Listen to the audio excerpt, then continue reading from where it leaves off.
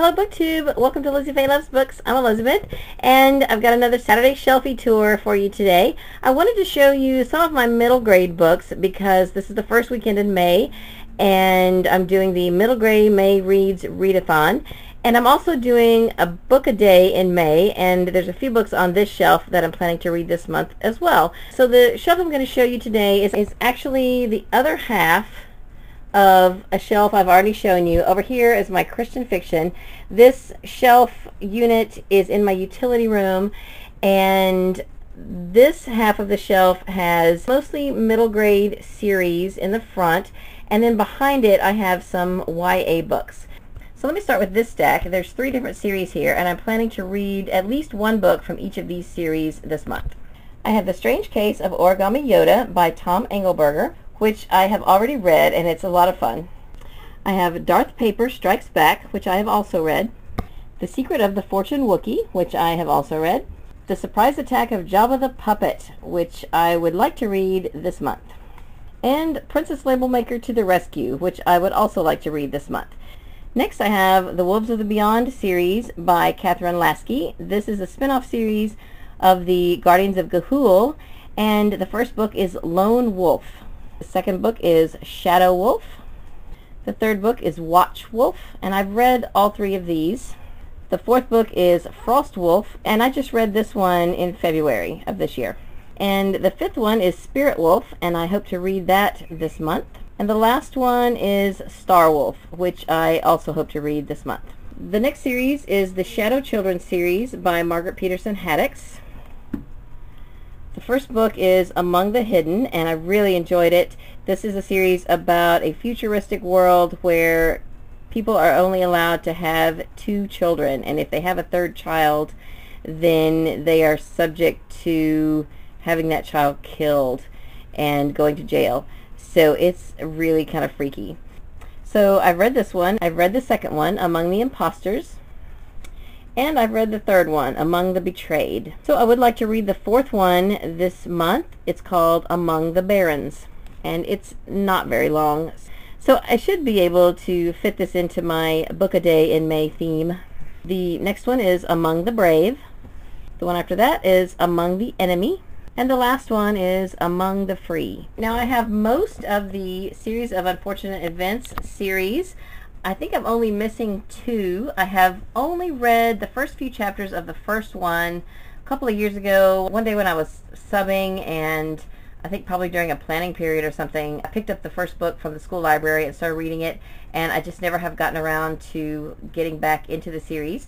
But I sort of happened into the first eight of these books, and then I have since then collected three more of them. One of them's not in great shape, but I hope to get the rest of them and maybe by next year start reading these. You guys are probably all familiar with this series. The first one is The Bad Beginning, The Reptile Room, The Wide Window, The Miserable Mill, The Austere Academy, The Ersatz Elevator, The Vile Village, The Hostile Hospital. I don't have book 9, but I have number 10, The Slippery Slope. I don't have 11, but I have number 12, The Penultimate Peril, and number 13, The End. I forgot I did have a few more middle grade books in the back here, and then this stack is all YA, I believe. I have the first three of the Spiderwick Chronicles. Book one is The Field Guide. This is by Holly Black and Tony DiTerlizzi. Number two, The Seeing Stone. Number three, Lucinda's Secret. I have read all three of these. Then I have this little paperback edition called Goblins Attack, and it says it's a special edition of The Seeing Stone. I have two in the Disney Villain series by Serena Valentino. I have The Beast Within, and these are beautiful books. Let me show you. Under the cover is the prince. Look at that. And I have Fairest of All, and it's got the old hag under the dust jacket. All right, I've got a few of two different middle grade series back here that I almost forgot I had. I, I collected these Vet Volunteer series for Katie because she has often mentioned that she's interested in becoming a vet. but so far she has not read any of these books. I may get around to reading them at some point. I have books 1, 2, 3, 6, and 7. And uh, these are by Laurie Halse Anderson. And the first one is Fight for Life. The second one is Homeless. The, the third one is Trickster. Number 6 is Storm Rescue. And number 7 is Teacher's Pet.